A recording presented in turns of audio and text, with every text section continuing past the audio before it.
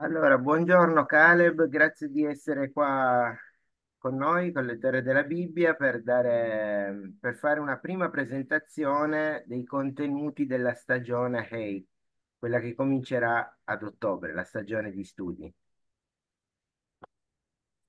Allora, Caleb, eh, tu ti occuperai, sarai il primo che si occuperà di, di una serie di sessioni e la tua riguarderà un argomento, è una tematica molto, molto di attualità. Quindi il titolo è Iran, Persia ed Apocalisse. Allora ti faccio subito una domanda anche per restare proprio in tema di questi giorni, visto quello che sta succedendo. Mhm. Ehm, Cosa, che ruolo pensi che avrà l'Iran, se vuoi dirci anche qualcosa delle origini eh, di questo popolo, di questo impero, nel piano di Dio? Soprattutto in questi tempi mi sembra una domanda di estrema attualità.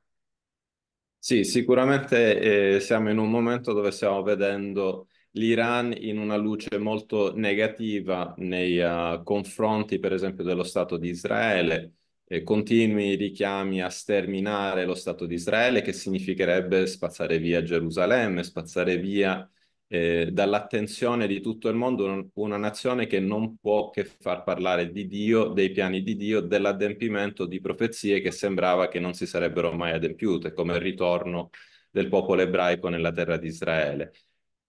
Ma il popolo iraniano in realtà eh, credo che ha un, un ruolo nel piano di Dio come tutti i popoli, che ha sì, per chi si è ribellato a Dio, delle sfaccettature negative, ma anche delle sf- sfaccettature positive. E sia nell'attualità, ma se saltiamo nei tempi biblici e sulle- sull'attualità c'è l'ipotesi, sul tempo biblico hai la certezza, quando nei tempi biblici l'Iran era nota come Persia, era ste- la stessa nazione che da una parte ha fatto ricostruire il Tempio. Dio si è usato di Ciro e viene quasi elogiato Ciro per la costruzione del Tempio e allo stesso tempo è la stessa popolazione che nei tempi di Esther cerca per la prima volta di sterminare, di spazzare via la memoria del popolo ebraico dalla faccia della terra.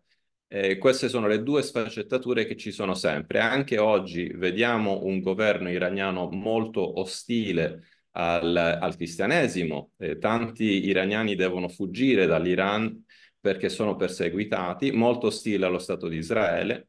Dall'altra parte ci sono tantissime testimonianze, sia dal punto di vista di cristiani e anche ultimamente anche da notizie esterne, di un'enorme crescita del Vangelo nella nazione dell'Iran, che porta a pensare quanto invece in questa popolazione c'è la possibilità di raggiungere tutta una fetta di mondo, il mondo islamico e l'Islam sciita, che sembra irraggiungibile, sembrano porte chiuse da tantissimo tempo e invece credo che Dio ha l'intenzione di penetrare anche questi popoli. Ah, grazie, sì, eh, hai già fatto anche una bella carrellata rispetto alle origini di questo popolo. Eh, poi hai anche citato eh, personaggi biblici come Ester e Ciro. Eh, in realtà ancora un approfondimento legato ad altri personaggi che provenivano dalla Persia, no? Quindi l'impero persiano che ha queste origini antiche, è un impero, eh, è un popolo estremamente intelligente, possiamo dire, un impero tollerante, ma c'erano dei personaggi che sono venuti fino a Betlemme per incontrare il re dei re Ecco, questo bambino. Ed erano proprio i magi, i magi d'Oriente. C'è qualche collegamento fra loro e il mondo della Persia? Sì, il, il termine magi eh, origina da un termine iraniano persiano ehm, e si crede sia a causa della- dell'origine di questo termine, ma è molto probabile, anche conoscendo un po' le dinamiche, che questi erano zoroastriani.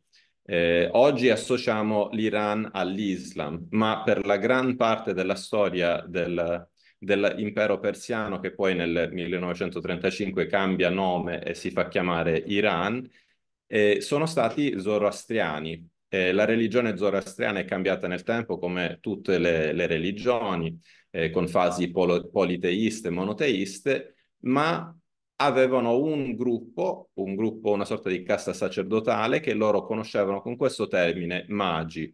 Quindi quando nel Nuovo Testamento sentiamo che dei magi da Oriente vengono a celebrare la nascita di un re, sono consapevoli di questa nascita, ehm, queste erano persone che nascono da questa cultura. È ovvio che nel riconoscere la nascita di Gesù come Messia c'è uno strappo con la religione zoroastriana, ma il loro punto di partenza è questo, la loro identità, il motivo perché sono interessati a capire cosa sta succedendo nel mondo, e, e guardare le stelle, studiare le stelle, cercare di capire. E Dio si usa, eh, anche se la Bibbia ci insegna di non seguire per esempio le stelle, Dio si usa del linguaggio che loro comprendono per dirgli vi sto annunciando qualcosa di nuovo e per portarli a vedere la nascita di Gesù. Quindi il, il collegamento è lì, da magi che noi associamo con dei re che portano, in, in realtà magi sono delle figure sacerdotali zoroastriane e da Oriente, e lì è molto chiara la, la, direzione, da Israele se vai a Oriente trovi queste terre qui, la, la Persia, la Babilonia, la Siria,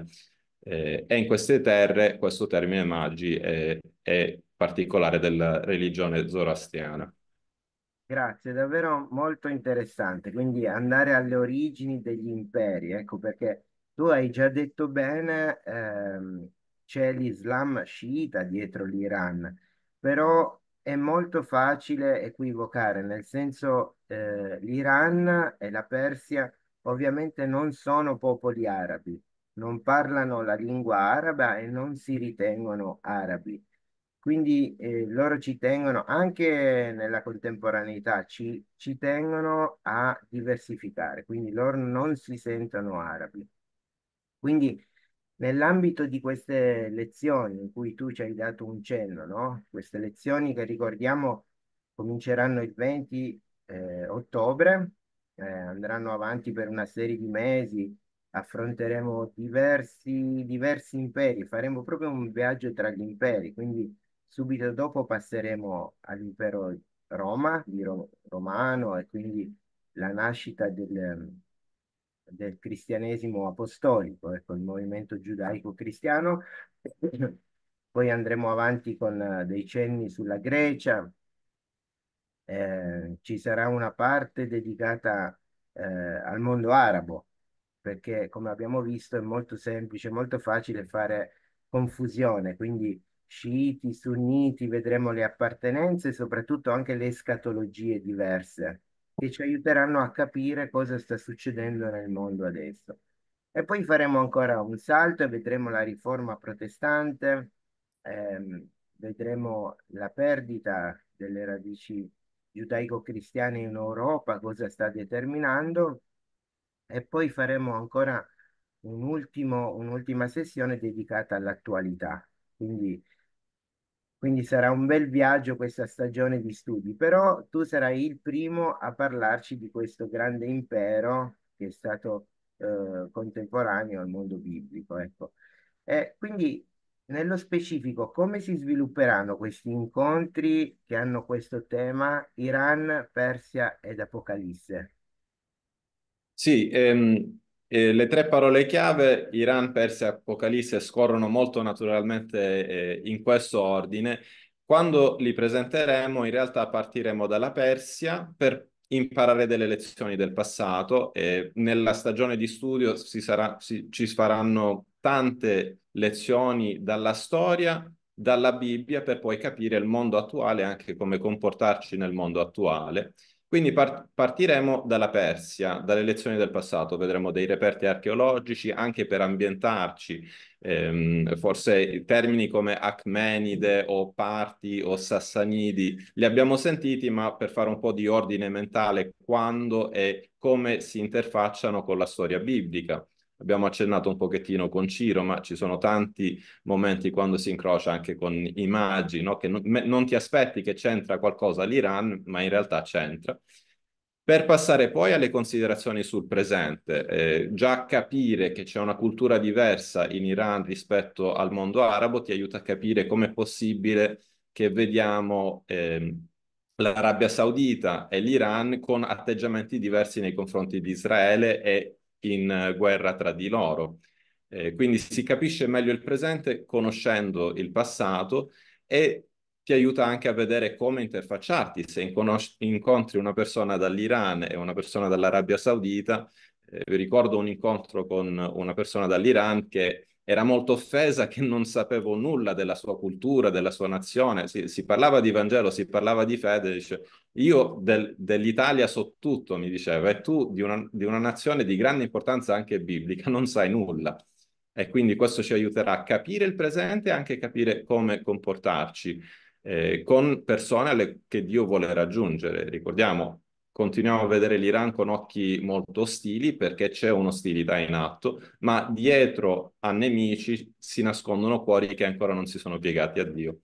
E parleremo poi di rivelazioni bibliche, vedremo l'Apocalisse appunto, ma non solo Apocalisse, impariamo a capire l'Apocalisse da Daniele 2, Daniele 7, Daniele 8, ehm, per capire Apocalisse 13. Comprendiamo meglio il, il quadro se cap- comprendiamo Ezechiele e la visione di Gog e Magog che cita anche la Perse. Quindi cercheremo di capire meglio brani molto conosciuti mettendoli tutti uno a fianco all'altro e vedendoli insieme per capire cosa dicono, per capire cosa si può dire con certezza e dove invece ci sono dei dubbi, perché con l'Apocalisse qualche dubbio c'è sempre. Benissimo, guarda, mi è, mi è piaciuta molto la frase che hai detto all'inizio, cioè di comprendere il ruolo che questo popolo ha avuto e che ancora ha nel piano di Dio in mezzo a questo puzzle che sembra abbastanza turbolenta, una situazione turbolenta in questo periodo. Quindi adesso più che mai è importante conoscere anche le origini di questi popoli per comprendere il presente e poi fare delle ipotesi sul futuro. Quindi eh, metteremo poi in questo link o in sovraimpressione il, le modalità di iscrizione, quindi come iscriversi al tuo corso e anche a tutti gli altri corsi. In realtà faremo un'iscrizione unica. Eh, vuoi dire anche qualcosa sui momenti di laboratorio che ci saranno insieme, nel senso che non vogliamo solo che siano delle lezioni così poco interattive.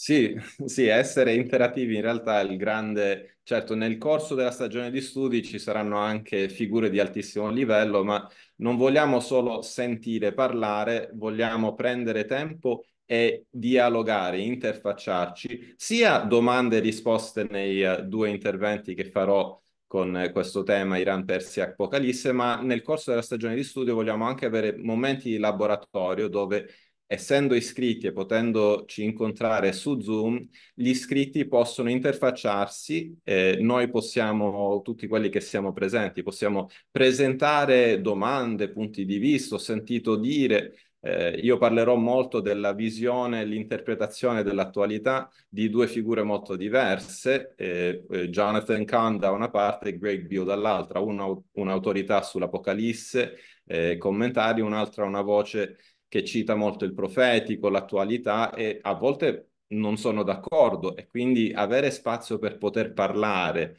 eh, cercare chiarimenti, cercare anche di capire cosa si sa con certezza e dove ci sono legittimi dubbi è molto importante. Per questo vogliamo avere più momenti di laboratorio nel corso della stagione di studio. Perfetto, perfetto. Allora sarà davvero interessante partire dallo zoroastrismo, vedere Ciro eh, Dario, coloro che si sono succeduti e poi arrivare all'Islam sciita e comprendere quanto c'è di affascinante da una parte in queste origini, nell'origine di questo popolo, e anche però impegnarsi a conoscere meglio cosa sta succedendo e poi eventualmente anche sì, avere un tempo per pregare rispetto alla situazione attuale insieme. Quindi saranno approfondimenti ma anche momenti di altissima qualità, sia di formazione che di spiritualità. Quindi grazie Caleb, ci prepariamo allora a questa stagione di studi, finendo le vacanze estive, abbiamo già degli obiettivi davanti a noi. Siamo entusiasti di incontrarci tutti poi su Zoom. Vero. Grazie mille allora, a presto. A te Alessandro, ciao. Ciao.